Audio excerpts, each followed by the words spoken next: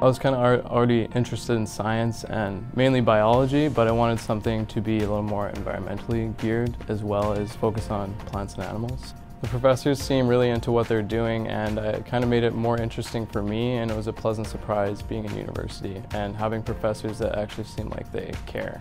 I would say that if you're into biology and you're also into conservation and wanting to learn about climate change and things like that, then this is the right program to go into. I'm kind of really looking forward to taking biotechnology classes so I can learn about natural systems and processes and learn how to integrate that into actual technology. So I think that's kind of what I, what I end up what I want to end up doing, so I'm really excited about it. I really knew I was in the right program when I was standing in Martins Lake in my hip waders, uh, getting water samples, collecting invertebrate samples. Uh, we spent the whole afternoon there on the boat, taking different data. So at that point, I really knew I was in the right program.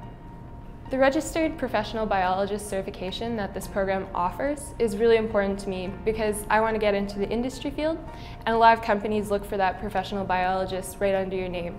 So getting that early on in my career is really important to me.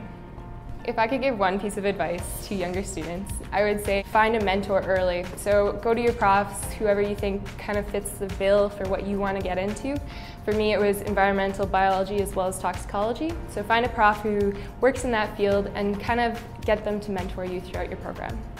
After graduation, I plan on getting my master's here at the University of Saskatchewan, getting it in sustainable environmental management. And so once I get that, I plan on going into the environmental consulting field, particularly in industry and especially in reclamation. I'm really interested in that.